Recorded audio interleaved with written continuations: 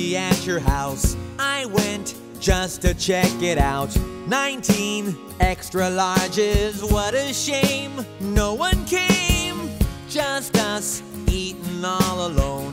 You said, take the pizza home. No sense letting all this go to waste. So then I faced pizza all day and every day. This cheese round the clock is getting me blocked, and I sure don't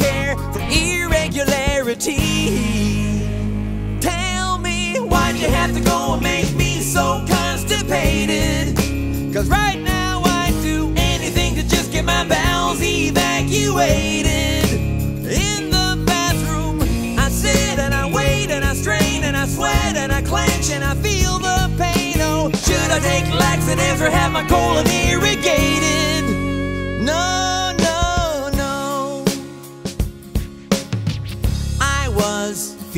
Pretty down till my girlfriend came around. We're just so alike in every way. I gotta say, in fact, I just thought I might pop the question there that night. I was kissing her so tenderly, but woe is me. Who would have guessed her family crest? I'd suddenly spy tattooed on her thigh, and son of a gun, it's just like the one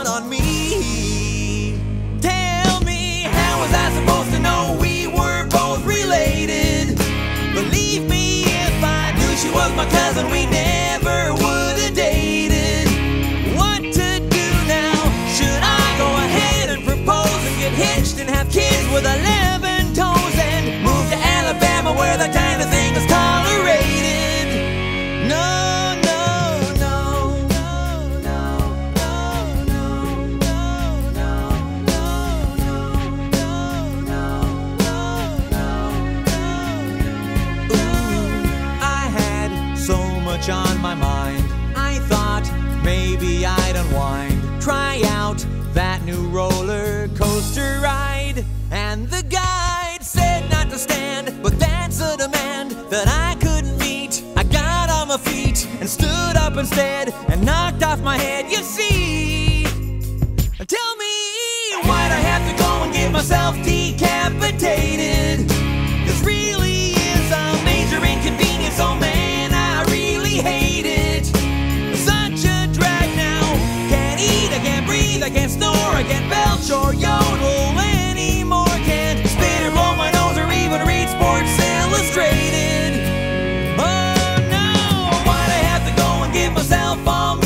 lady.